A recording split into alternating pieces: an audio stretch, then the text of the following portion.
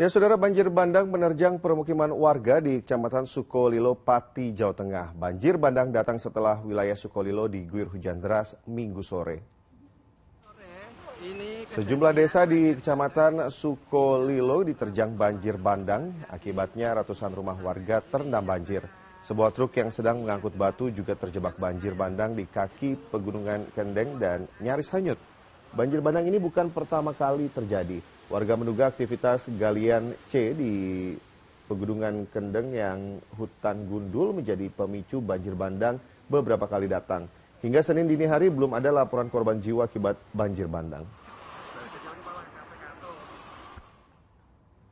Meluapnya sungai di Kecamatan Tanjung Morawa, Kabupaten Deli Serdang, Sumatera Utara membuat tanggul sungai jebol pada minggu siang. Tingginya debit air sungai yang melintas di Desa Punden Rejo, Kecamatan Tanjung Morowa, Deli Serdang menyebabkan permukiman warga terendam banjir. Kondisi ini menyulitkan warga untuk beraktivitas.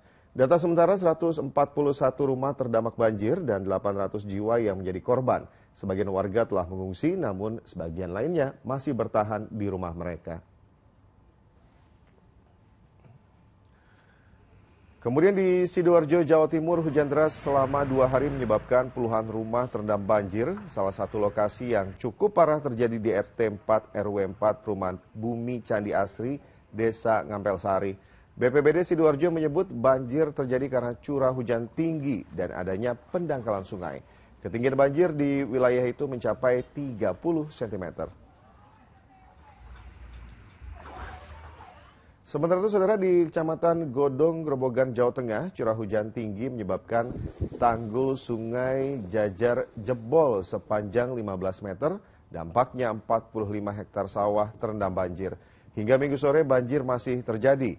Warga berharap Balai Besar wilayah Sungai Pemali Juana segera memperbaiki tanggul agar sawah mereka bisa ditanami pada musim tanam yang akan datang.